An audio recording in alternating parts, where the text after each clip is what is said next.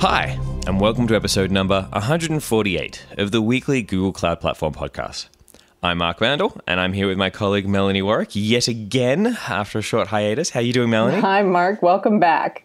Uh, welcome back to you too. Uh, I think we've both been traveling a whole lot. Yes, we were, and I know last week you were a little tied up over in Tokyo. Where were you in Tokyo? What were you up to? So yeah, I was over in Tokyo. I was at Cloud Next presenting at the inside version of Cloud Next, so the game conference that was like a little side thing on Cloud Next. It was a pretty awesome event. It was really great. I think there were, thousands of people, lots of cloud people from Cloud Tokyo, and I also learned something very important. I didn't realize this, but their local uh, GCP community is called uh, GCPUG, so GCP user group, and they have a logo with a pug inside the hexagon, and it's a pug. It's awesome. So that's a group I need to be involved in. Yes, I have a sticker on my laptop now. Uh, nice. Well, so overall, it was a great experience. It sounds like, and I'm glad yeah, you. was fantastic. I'm glad you've made it back. I was Indaba? Yeah, I was gonna say last week we were sharing the episode we recorded in Stellenbosch, uh, Africa, which was at Deep Learning Indaba, and it was great. And one thing I forgot to mention last week was that one of the awards that was given out for the best posters was Google Cloud Platform credits. We gave out thousand dollars worth of credits for 25 different posters. So it was really great.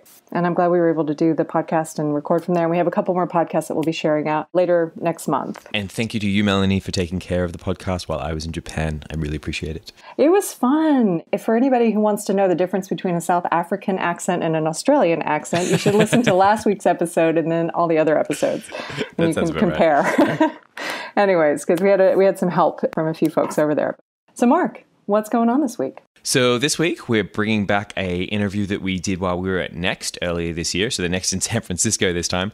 We had a great discussion with the team from Wellio, with Sivan and Erik, talking about all the data science things they do over at Wellio. It was really really cool. It was. It was a full picture. It was, it was the nice thing is seeing like applied machine learning, but from the start to the end, from coming up with the concept and the problem, and then actually to the deployment. It was really valuable interview, and so I'm glad we're finally going to get a chance to share that with everyone one. Yeah, yeah, a really great one. And then we have a question of the week this afternoon. We're going to step away from the GCP side of things and move back maybe a little to the Google Cloud.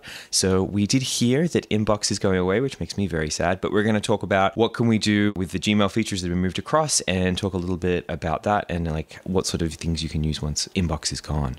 Yes, how to move forward with Gmail and as Inbox goes away. We're going to have a therapy session. It's, it's, all good.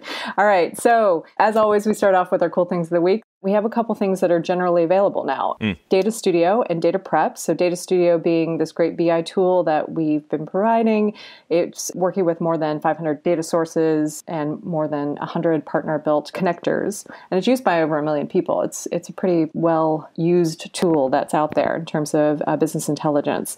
And Dataprep, of course, allowing you to prepare your data when you're doing any type of analysis or machine learning with it. There's a lot of work sometimes you have to do to clean it up, and the Dataprep tool allows you you to do that. And now that it's generally available, it's got a new look. It allows for things like team collaboration and some additional features. So, yeah, those are nice. That is nice. Yeah. And speaking of generally available, we also have Cloud Memorystore for Redis going generally available. So if you're looking for a managed Redis system, you can come to us for that as well. And we also expanded it to several new regions. So now Cloud Memorystore is supported in Tokyo, Singapore, and Netherlands, which are new, as well as Oregon, Iowa, South Carolina, Belgium, and Taiwan. Nice. Another cool thing of the week um, I know earlier this year in May, we were talking about the Coursera courses that came out for TensorFlow. And these were the machine learning with TensorFlow on Google Cloud Platform course. That's a five course specialization. And it's like now in the top 10 data science specializations on Coursera that's out there. Following on to that, they went with a more advanced machine learning with TensorFlow course that has been released recently. And this advanced course covers topics like end to end machine learning with TensorFlow on Google Cloud Platform, production machine learning systems image understanding with TensorFlow and Google Cloud, sequence models for time series and natural language processing, and recommendation systems with TensorFlow. So, this is something that will help take you another step down the path of expanding your machine learning expertise. And there's going to be a webinar on October 9th at 9 a.m. to learn more about the course. Fantastic. Uh, speaking of machine learning as well, teammates of ours, uh, Sarah Robinson and Zack Akil, recently released a blog post on the Google Cloud blog called Simplifying ML Predictions with Google Cloud Functions. This is a really great hands on blog post that takes you through all the code that they use to write cloud functions, calling Cloud ML from the cloud function, and going all the way through. It's actually a really great read. Yes, it is. And it's great to get this out from our teammates. Yes. And the last thing we want to mention is that Mark Moore gave us a shout out as one of the 50 best cloud security podcasts um, in an article that he wrote. And he gave us a nice little overview in terms of some of the podcast episodes in particular that he found especially useful. And one of those, of course, being the Vint Cerf episode, which I agree was a very valuable episode that you guys captured last year. Thank you very much for including us in your list. It was much appreciated. Thank you. All right, Mark. I think it's time for us to go and talk with Wellio. Yeah, I think we did enough cool things of the week. Let's go talk with Wellio. Yes. So it's day three here at Next, and it's the final interview, but super excited. We have two wonderful people with us. I'm going to probably massacre your names, but we'll try our very best. Uh, Sivan Aldor-Noiman. Yes. Wonderful VP of Data Science at Wellio, and Erik Andrejko. Yes. Oh my God, I'm doing really well. You're amazing. Also CTO of Wellio. Uh, thank you so much for joining us and taking time out of Next to come hang out with us. Yes, that's our for pleasure. us. Yeah. Awesome. Um, we want to hear all about what you're doing at Wellio, how you do it, like all how all the stuff works, basically. Uh, but do you want to tell us a little bit about who both of you are and what it is you do? Sivan, you want to go first? Sure. So my name is Sivan, and it's a nice Israeli name, Hebrew name, Hebrew month. my background's in statistics, so I have a master and a PhD in the, the statistics world, and I was kind of intrigued in applying statistics to temporal spatial models. So that's where I started my career, and I worked for several years in the agriculture technology space alongside Erik, actually. And after several years there, I transitioned to Wellio. And in Wellio, we work on the food technology space, which is kind of in a similar space, right? They're related to each other, but one tackles more the demand side and the other the supply side. So after several years in the supply side of food, I really wanted to move to the demand because if you want to change supply, you really should just change demand. That's much easier. So I joined Wellio and I've been developing models for and recommendation systems for food. And I think we'll tell you a little bit more about Wellio in a minute. Um, but yeah, I build models for life. I am a super duper happy statistician, data scientist slash machine learner, and all the words above that describe the same position. And you like chocolate? And I love dark chocolate. Correct. it's true. Yeah, and I'm uh, Erik. I'm uh, CTO and co-founder of Wellio. My background is very similar to Sivan's. In, in, some ways, I'm I'm trained as a computer scientist. I did a PhD actually in uh, pure math. I think of myself as a disillusioned mathematician. I got a little tired of staring at the wall and wanted to do something a little more impactful. So I came out to the Bay Area and I've been working in machine learning ever since.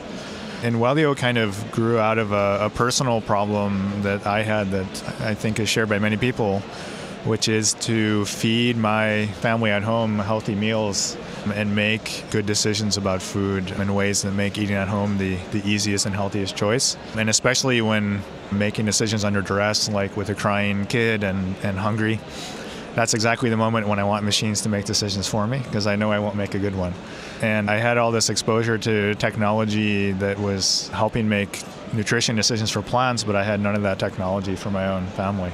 And so I wanted to create the experience of having a personal chef and a nutritionist in the house to, to help with meal planning and grocery shopping and those sorts of things. And I imagined a, a, way in which that could be embodied in an intelligent machine. And so that's that's kind of how, how we got to here. When we talk about Wellio, we talk about how can we make a personalized family nutritionist available to everyone in the world, not just someone that can afford it. We both have families. I have two kids. So we, we've tackled the problem of like, how do you feed everyone in the family? How do you personalize it?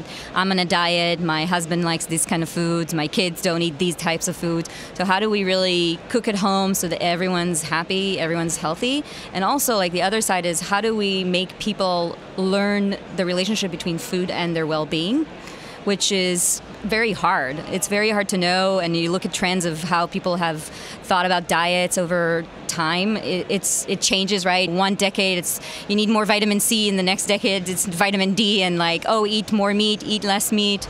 There's not a lot of consistent science in this domain, and definitely not very hard to personalize that domain, and that's sort of the, the problem we're trying to tackle. Well, how does Wellio work?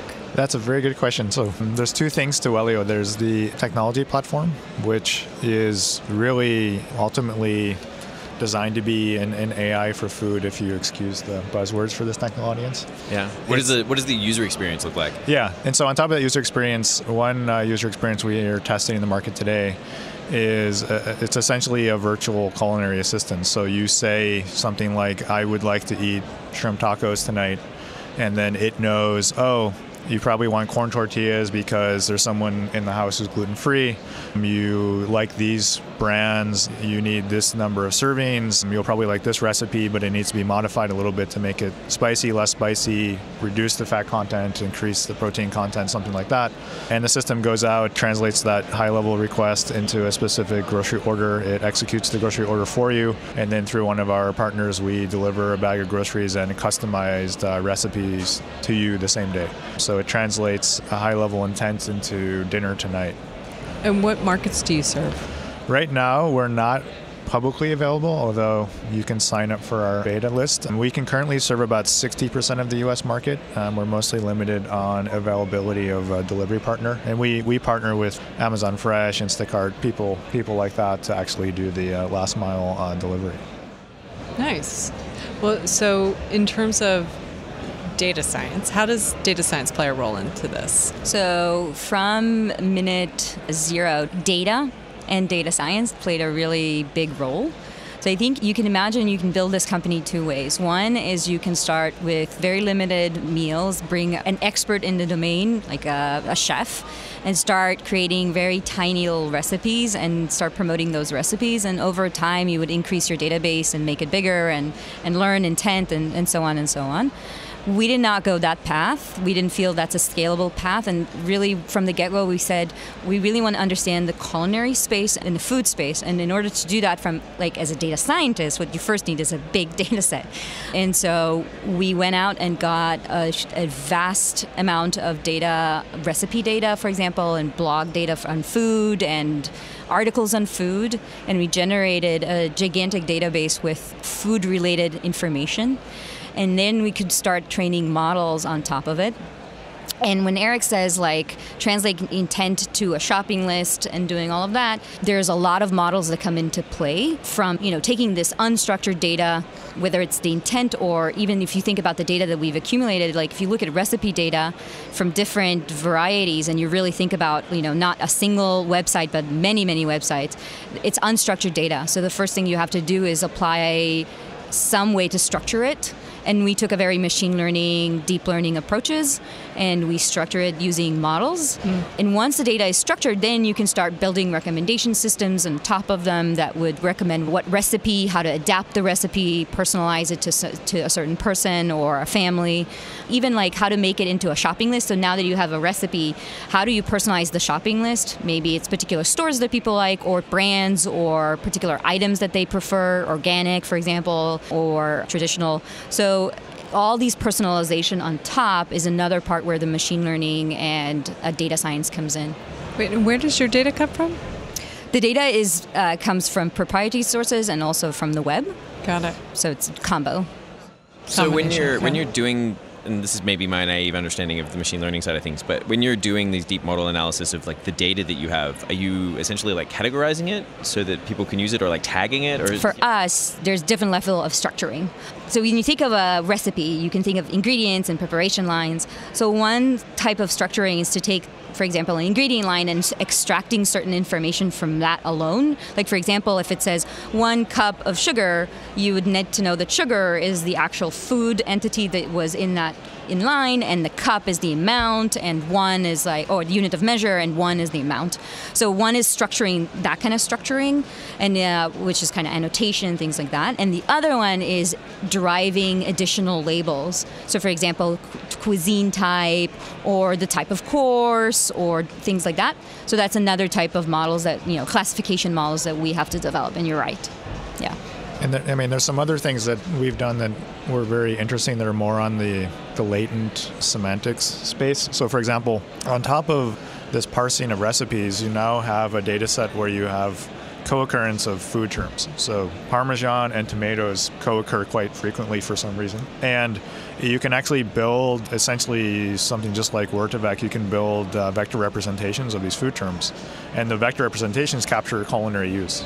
So if you look in the vector space for things that are very close to Parmesan, you find all of the other Italian cheeses, Reggiano, et cetera, et cetera. And so by kind of taking this even semi-structured data and then using some of the techniques we all know and love, you can get pretty rich representations that you can then use as good signals or features for other machine learned models that maybe are more. Yeah. For example, ingredient substitutions, you can think about it that way, right? You can think of generative recipes, all sorts of these kind of applications on top of it. Are you doing generative recipes?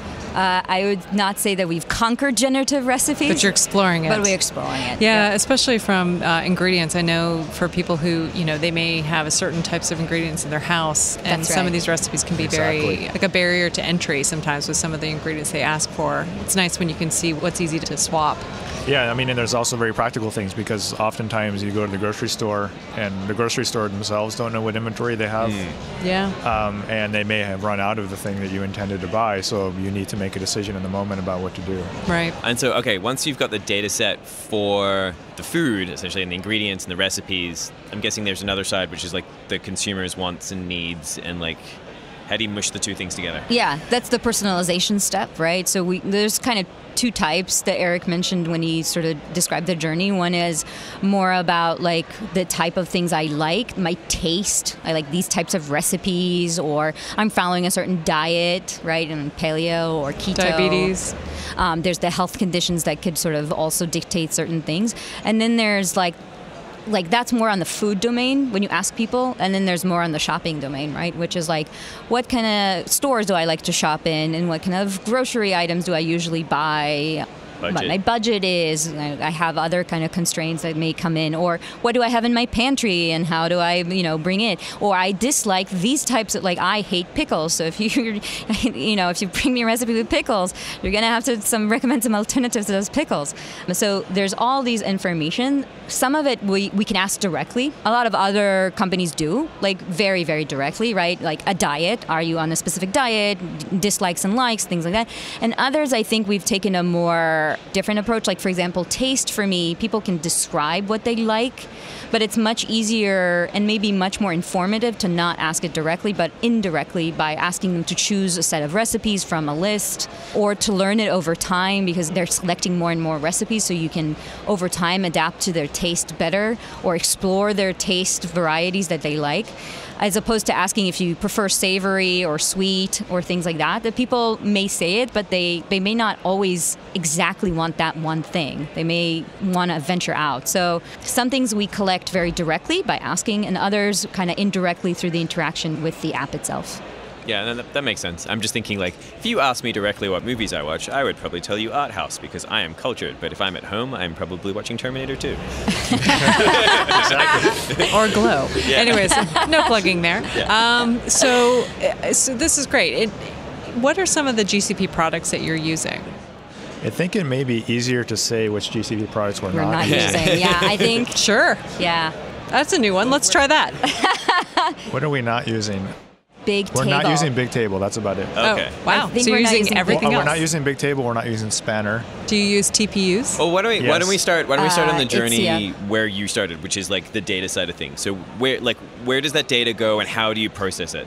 Yes, actually. So the first thing we did build was the crawling system because I'm I'm a data scientist. I've worked with many data scientists. I've never met a data scientist who didn't want more data. so I figured we better have data if we're going to be successful. So we built a crawling system that's built in Python. The actual operations of it is, is heavily influenced by the availability of things like GKE. That runs on GKE, auto scales on GKE, and all of the data coming out of that is dumped onto GCS, and then all of the post processing happens uh, via PubSub. Um, so the, there's various stages it goes through kind of a, a, staged pipeline that's all coordinated by, by PubSub, and there are various GKE clusters that read the messages. Uh, it's also perform. stored on BigQuery even when it's unstructured. Yeah, there's some, there's some yeah there's some a whole bunch of side channels that out of this pipeline we, we collect data at various levels of normalization. That is available on GCS in some raw form, which we can then access, and we do access via Dataproc. Um, but primarily it ends up in BigQuery, and then most of the machine learning either kind of in an ad hoc or in a more formal repeated training way. Are you, are you using Dataproc with more like a Hadoop or with a Spark or? With Spark. Got it. Yeah. Actually, we're, we're increasingly kind of automating a lot of our model training, evaluation, and deployment pipelines on Composer. Tell us about Composer because I think that's very new. In fact, I have no idea what it does. Composer is it's essentially an orchestration layer. It's it's hosted Airflow. I mean, Airflow seems to have been widely, increasingly widely used in the industry for doing machine learning pipelines where I have step A, I transform some data. Step B, I maybe need to train a model you know, next step is maybe I do model evaluation and then model selection, uh, and then I need to deploy it. So if you want to run model training on some schedule like that, we've been doing that recently in, uh, in Composer, and that's worked very well. There's a lot of nice hooks for some of the other GCP offerings. For instance, like Cloud ML Engine, we use a lot of Cloud ML Engine uh, with Keras actually increasingly, and we, we launch our training jobs uh, directly from Composer as we get new data coming in uh, new label data or new unstructured data, depending on the pipeline. Yeah, and we do have several models that really are kind of continuous integration development and deployment in the sense that we've developed them, we train them, we get all of that from Composer, and then there's a human in the loop that once the output of the model is shown, we have an internal tool that would show the model output. Internally in our team, we have experts, domain experts, chefs, and, and people in the culinary space that would review the labels of the uh, that the model produced. For example, like we talked about, it could say that some the type of cuisine or things like that, and they would correct, and we would collect that corrected data, and then we, we can sort of train again the model with more data so that over time the model improves and monitor, we can monitor that improvement. So we definitely have kind of those mechanisms. That's actually really interesting. So you're not you're not just ML, and as you said before, you were like we're not just doing human. It's kind of the combination of both, or a little yeah, bit of tweaking. I, I think a lot we, of companies do that too. Yeah, yeah, I think we even with our experience from our previous company, it's very clear to us that machine learning's and models, and I guess that's also my background's like I cannot, in good conscience, have a model that I believe will always be right. There's always going to be cases where a model is going to be wrong. And as Erik said, as a data scientist, I'm always going to want more data. So having experts in the room talking to you, helping you understand the data, and like I would admit, I, I cooked before coming to Wellio, but I am not a chef and I am not an expert in this domain. So having that domain expert sit next to me and asking lots of questions about the data so that I understand how to properly utilize it really helps. And so yeah, we've devised a mechanism so that we can, you know, kind of get the most from this domain expert and scale in some sense. When the data is being flowed through your your ETL and, and through the data and doing the training, is it batched? Is it streaming?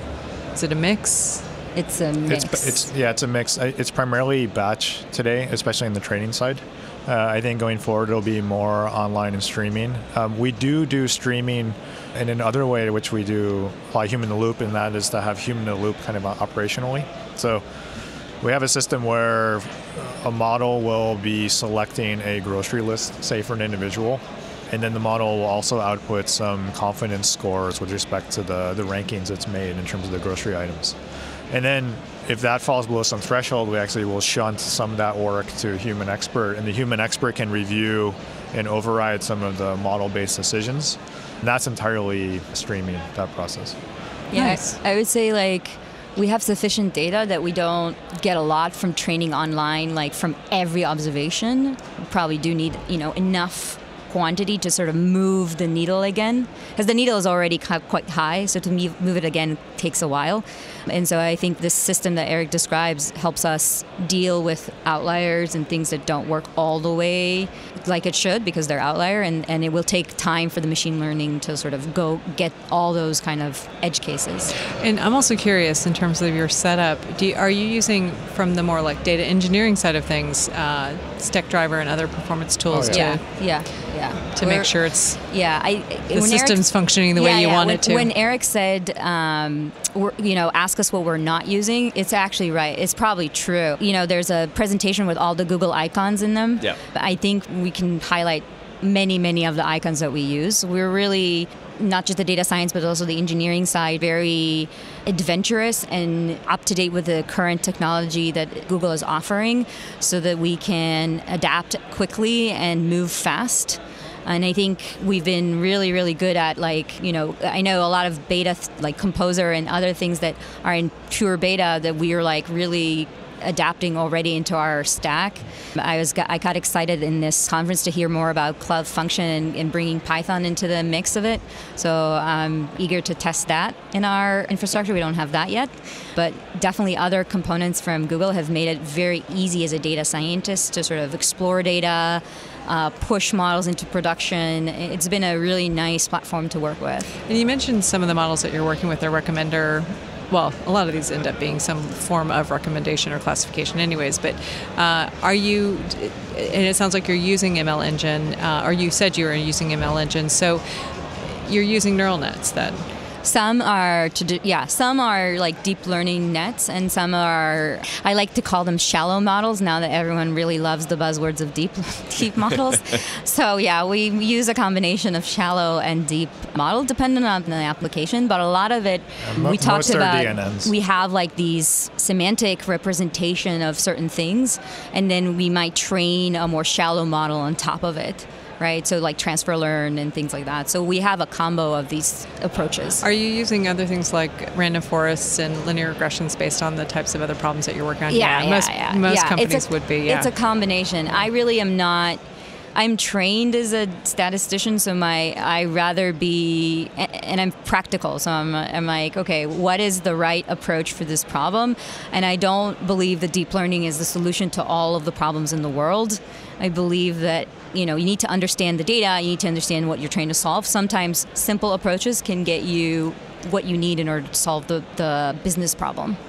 It, it tends to be a very layered approach in that like the models that are consuming essentially unstructured data that, that could be raw text, that could be images, for example, tend to be deep neural networks, and then they output some vector representation or, or some additional auxiliary data or labeling then can be fed into an application specific model. And sometimes that model is a deep neural network, but very often it's it's not.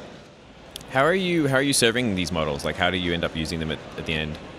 Yeah, we serve them. Uh, well, we have a microservices architecture, and so everything for the most part ends up in GKE in some form or another. We are starting to increasingly use Cloud ML Engine as a deployment platform when we can. I'm excited to try that with more uh, frameworks than TensorFlow. We've, we've done it with TensorFlow. I'm excited to try that outside of TensorFlow because we we like to think about the models we produce as essentially appliances, and then the engineering organization can just use them as any other service. It's just another API that you call. We're a very small team. We have no platform engineering team. GCP is our platform engineering team. It's, so we, we either have none or we have a giant one, depending on how you look at it. And we have no operations team. Everyone is kind of owns operations, and that includes all the data scientists. So all the machine learning operations online model monitoring, performance monitoring, a Stackdriver, for example, that's all done by, by, by yeah, yeah, by, all, by our by data scientists. Yeah.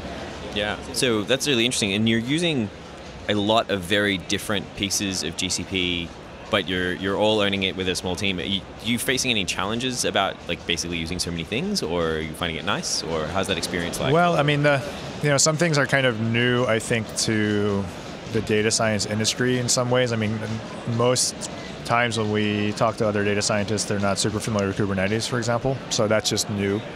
But I think what, what we found is very nice is that the, the abstraction layers at GCP seem to be well considered in that you don't have to relearn API primitives or command line interfaces over and over again, use different parts of the system. There's there's a fair amount of consistency. And so once you know, our our engineers or data scientists kind of grok the underlying you know conceptual space, using it tends to be tends to be pretty pretty easy. And there's some learning, right, that you need to do in order to ramp up on the different technologies. But I feel like like I never worked on the Google Cloud platform before joining Wellio, and yeah, it took it took a while, but not as much as it took me other platforms. So that's a good a good thing. That's the soundbite. Thank you. We're done. Um, well, I have two different questions I want to ask. Earlier, before you were saying you want to try to make it accessible outside of TensorFlow. Is there a reason why you, you want to be able to explore beyond TensorFlow, and is there specific uh, software that you'd be more interested in? Uh, well, as Sivan was saying, our, our quote unquote shallow models. I love this branding, by the way. I say constantly shallow and deep. I find it very funny that people Once call you- it deep and now go- there's no alternative. Yeah, once you go deep, it's hard to So say I'm shallow. not doing anything deep. So for our non-deep neural network models, they're primarily scikit-learn, and so to be able to deploy those as uh, individual RESTful interfaces would be would be very useful. Scikit-learn is very popular. Yes.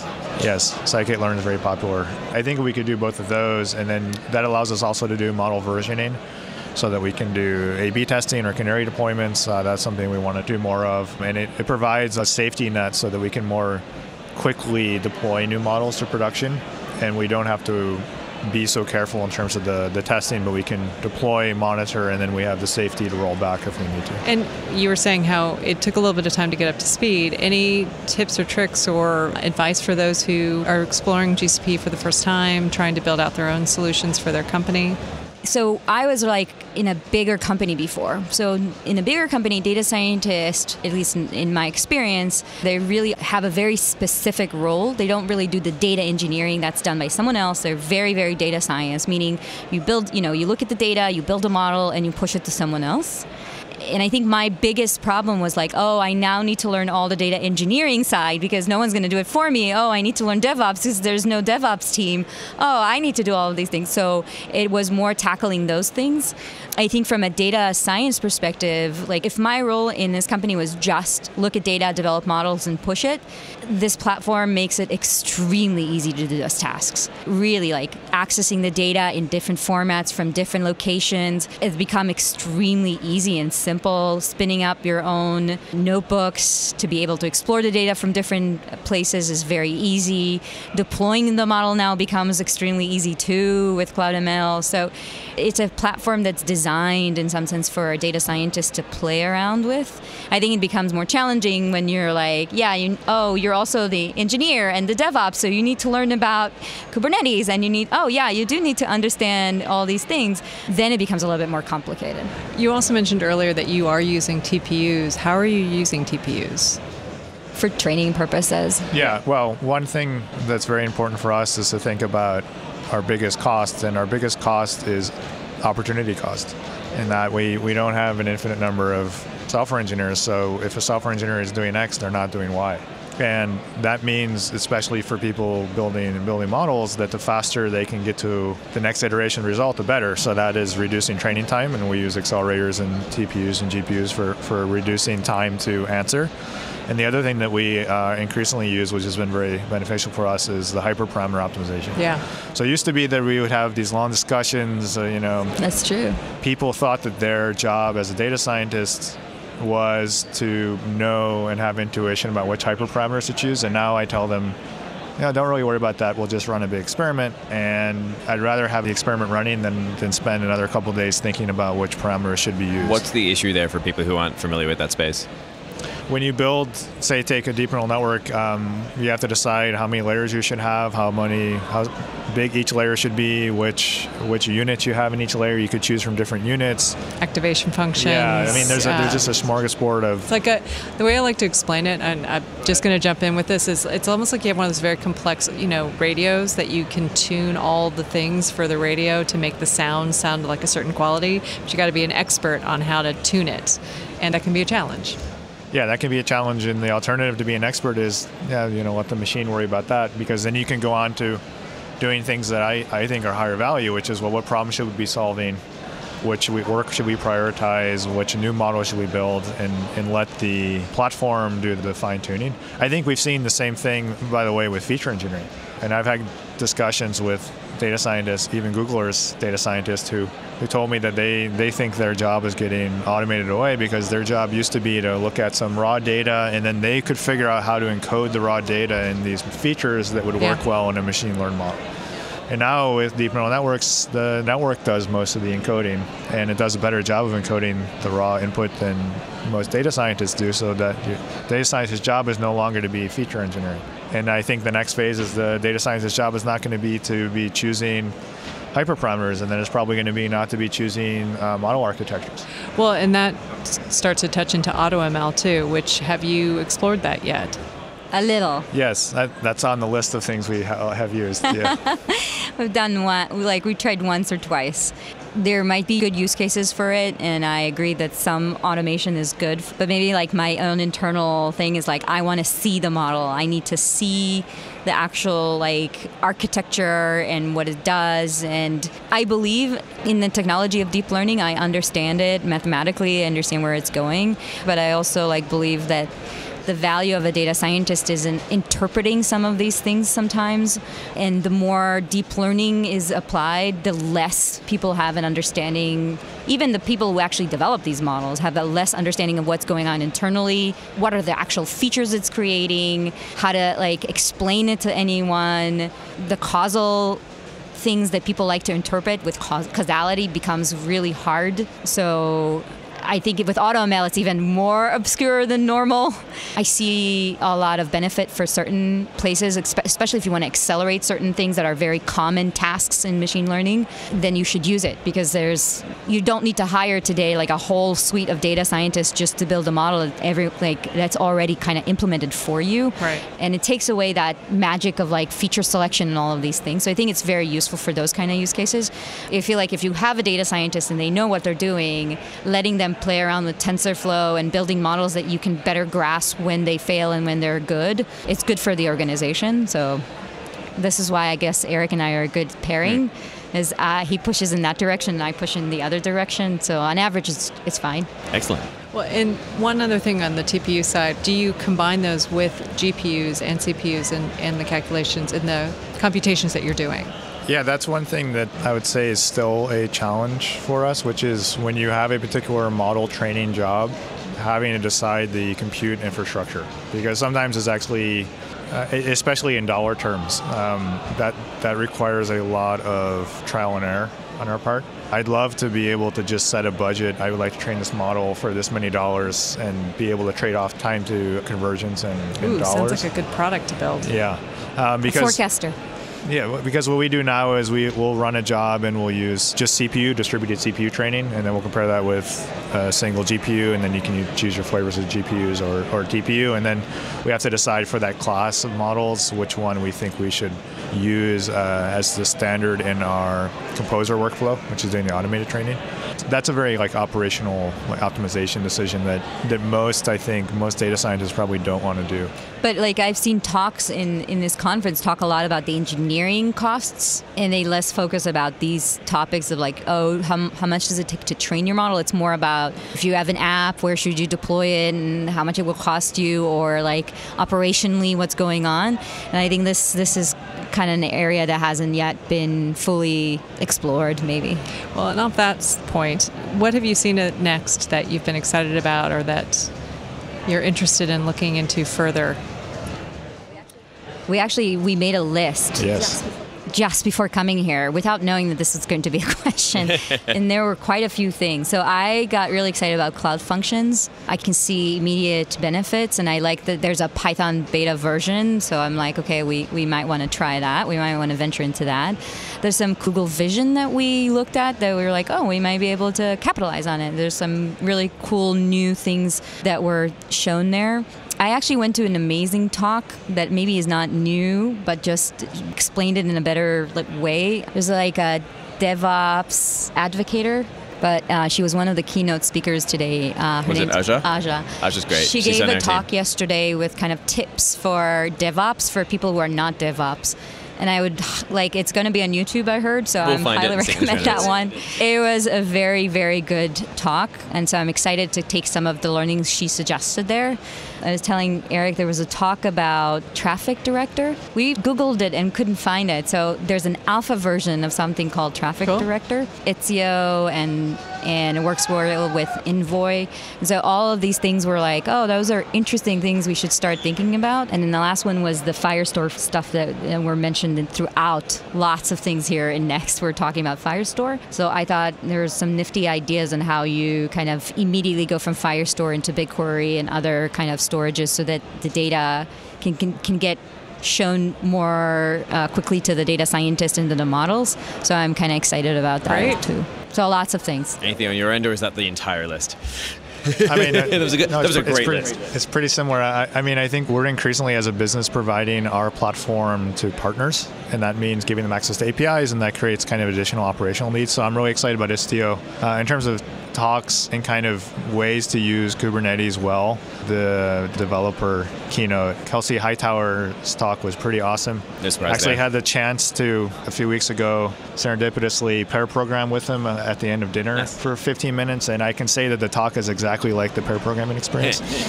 so, so I, I, I'm excited to be able to use more of the operational elements, things like Istio and Spinnaker, uh, kind of really extend uh, GKE as an operations platform and be able to do less operations, especially as we do B2B integrations. Fantastic. Well, before we wrap up today, is there anything we've missed or anything you want to make sure that our listeners know about?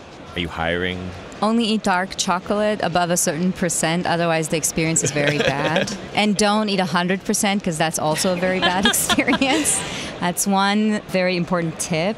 We are hiring. We're looking for backend engineering slash data engineering to join my team. So definitely that. We also have Yeah, we're uh, hiring in all kinds of roles. senior yeah. application developer. So definitely people on that spectrum. And I think if you're generally interested in the food tech space, it would be great to get in touch with us. I'm going to assume the email is going to be somewhere Yeah. visible. And so we'd be always happy to, to talk to people who are passionate about this space and have opinions, even if they're not technology kind of people. That's totally Nice. fine too. Well, thank you both for joining.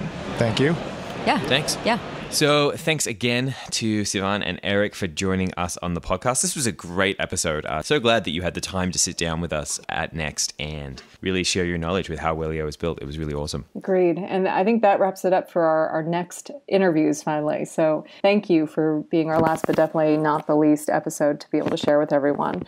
Okay, Mark, let's talk about Inbox. Inbox is going to be going away in the next six months, is my understanding. And so there's been a lot of work to make sure some of the features and functionality that Inbox has has been moved over to Gmail. So what does that look like? Yeah, so that's a good question. So, first, Melanie, are you an inbox user? I have been. I am definitely an inbox user. How do you feel? I. Um. I'm okay. I'm okay. Okay. I'm okay. Most of everything's been moved across. The only feature that, that I would like to see move across, um, if anyone's listening, I would love to see bundles move across. If that happens, then I'm fine. They do say that there's some more additional features they're working on bringing over. But I agree that in Inbox, the snooze feature was my favorite. And so when that came into Gmail, Yep. part, it made it easier for me to start adopting Gmail again. Yeah, so definitely, uh, yeah, inbox. Inbox is my life. Inbox is my to-do list. So there is, yes, March 2019. Inbox is being shut down. It was a wonderful experiment, uh, and so they're moving a lot of the features over, which is really good, and a lot of the features have been moved over as well. Uh, there is a transition guide that has been written, so if you're looking for like snoozing of emails, yep, we can do that, which is really good because yeah, snoozing is the best. You can work offline. Yeah, you can do stuff offline, which is awesome too. Though I do particularly appreciate coming back to Gmail, the new smart replies. I really like that. So, yes, we've got a transition guide that we're going to link for everyone to see what types of features have been brought over to Gmail so you can have an understanding of how that will look, how that will work. Yeah, and pretty much everything has been moved over, right? Like reminders, if you use those, which I do, moving over to Google Tasks is pretty seamless. So you just need to move that stuff across, which is pretty good. Like Snooze is still there. You can replicate bundles with using tags and, and filters. So it's not it's not the end of the world. It's not the end of the world. I'm okay. It is not the end of the world, and we highly recommend everyone to, if you are using Inbox, to start taking a look at Gmail again and see how that is transformed. Yeah, you might actually not recognize it because it did go through a big redesign a little while ago. Yeah. And there's a lot of really cool features in there. All right, Mark, where are you going to be? What you up to? Uh, you and I are going to be in Strange Loop in we are. uh, in basically on the day this comes out. I think I'm flying in later than you are. yes, I know. You're a little bummed because you're missing out on the, the museum party that they do every year. Yeah, apparently people want to meet me and talk to me about stuff. So yes, I will be. I will be late. I am a little sad. But why are you going to be late? Basically, internal games meeting stuff is is basically the reason I'm chairing our internal game summit. That's fun. Yeah, it's good. It's going to be awesome. It is going to be awesome. And Strange will be really wonderful too. And we're planning on recording a podcast there that we will share soon. So you'll hear more about that later. And Mark, anywhere else you're going to be in the next month? I don't think so. I think October is going to be relatively quiet. There is a chance that I will be at Unite LA. That's probably where I will be. I have no idea what I'm doing there or what I'm doing, but it seems likely that I'll probably be at Unite LA. Are you going anywhere? I am. I'm going to be in Portland, Maine the week after Strange Loop. I'm going to be speaking at Monktoberfest. Oh, cool. Yeah, should be fun. All right, Mark, I think that's it for us for this week. I think so too. So, Melanie, thank you so much for joining me for yet another episode of the podcast. Thank you. And thank you all for listening, and we'll see you all next week.